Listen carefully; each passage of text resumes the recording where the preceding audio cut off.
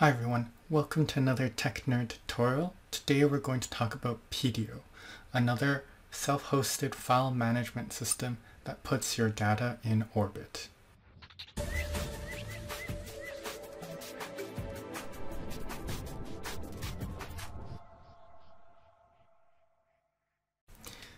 Pydio helps to master your universe of files. That basically means that it's an open source file sync and sharing solution that delivers really good control over enterprise and service providers.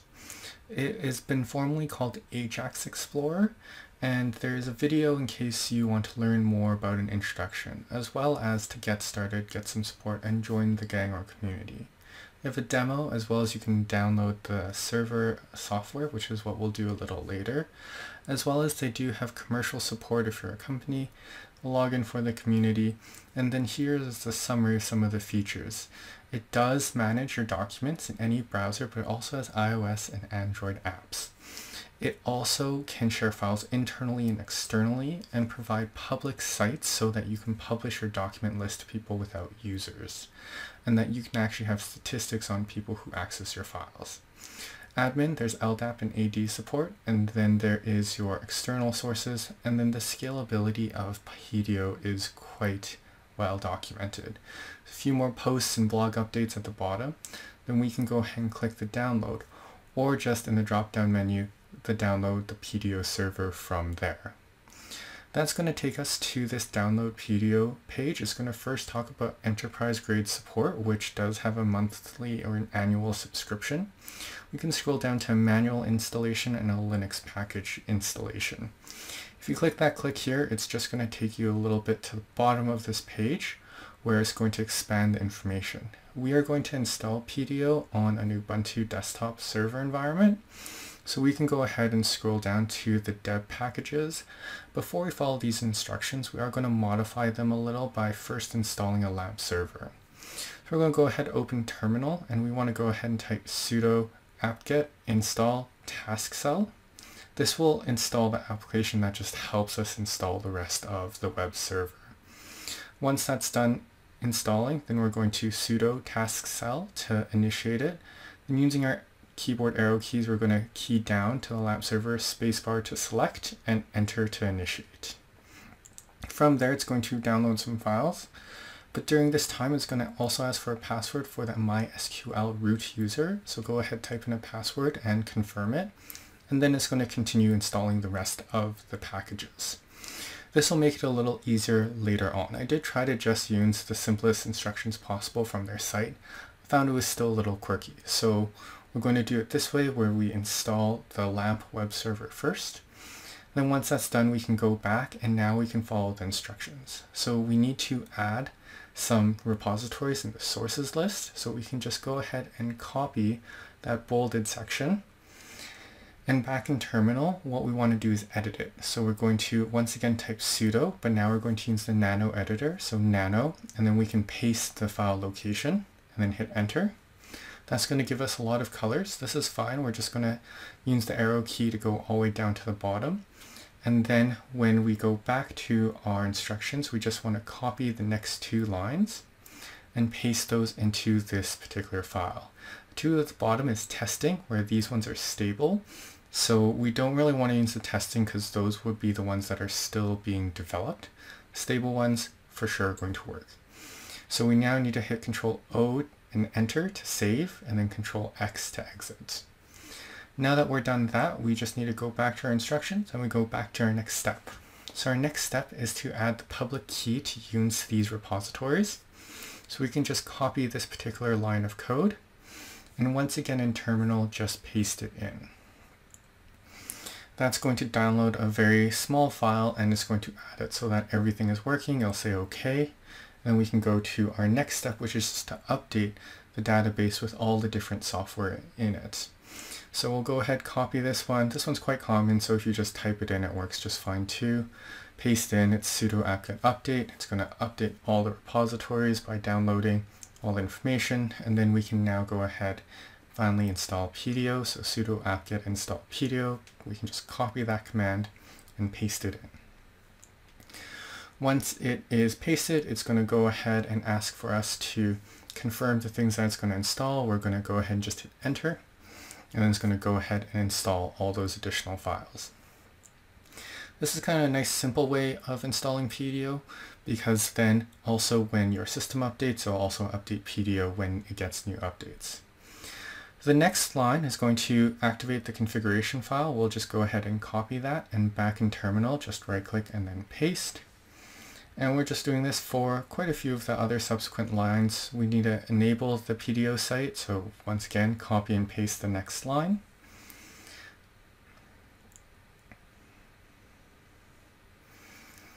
And then also after that, we also need to enable some of the additional extensions of our web server. So we're going to copy and paste the next line, not the one with the hashtag, the number sign, the one after that. So sudo a2enmod rewrite. And then there's one more that we want to add, this php5 nmod mcrypt. This one, oddly enough, doesn't have sudo in front of it, so we just need to now manually type in sudo and then paste in the PHP5 nmod to enable this particular modification. So type in sudo, paste in the rest of the command, hit enter, and then we're done copy and pasting code from the Pydio instruction installations. It does say that we still need to restart Apache, so we're going to go ahead and do that before we move on. So Apache is our web server. So we'll go back to terminal, and this one we will have to manually type out. It's going to be sudo service apache 2 and then restart go ahead and hit enter. It's going to say that it's restarting. It'll give us the OK and now we're good to go.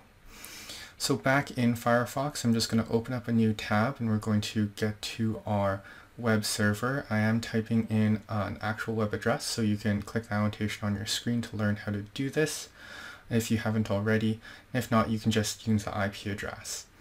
Now that we're here, there is a few warnings. The first one is about PHP output buffer. Uh, the next one's SSL encryption, and then we have our server character set. The server character set says that we can set that in the next step, so we're going to ignore that. The PHP output is the one we want to deal with. So we can go ahead in our terminal. This is where we want to edit a PHP ini file. So here we're going to have to type in sudo nano and then the location of this ini file, which is going to be etc.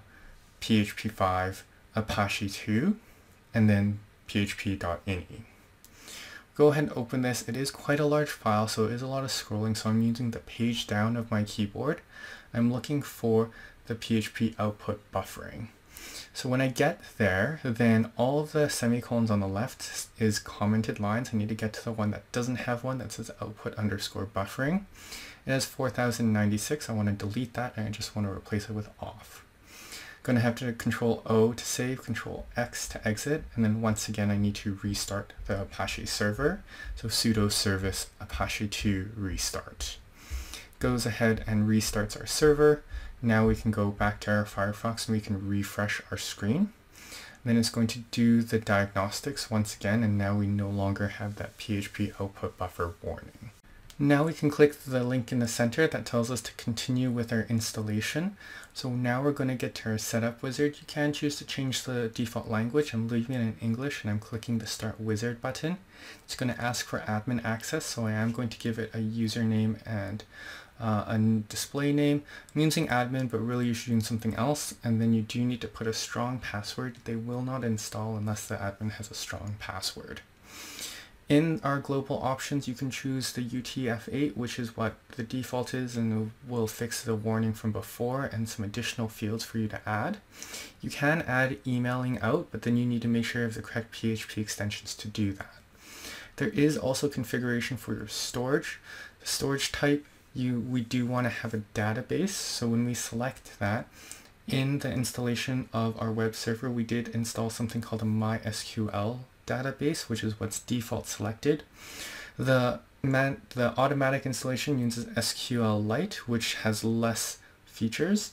And then from there, we can just go ahead and type in the user root. And then the password is going to be the password that we typed in in the install from before. So I'm going to go ahead and type those things in.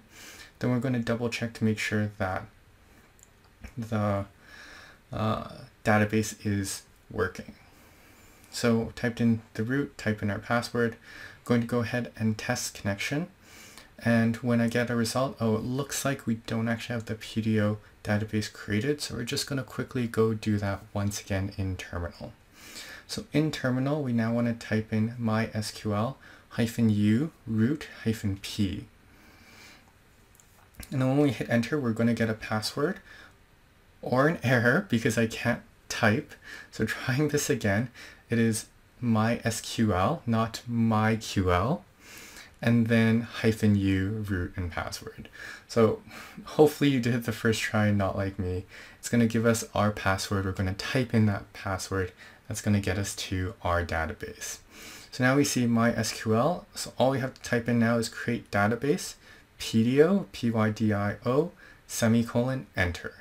It's going to say queries okay. We can type in exit to exit, and now we're done creating that database. Going back to Firefox, if I click this particular test connection button again, it's going to say connection established. Everything is great. Go ahead and scroll down.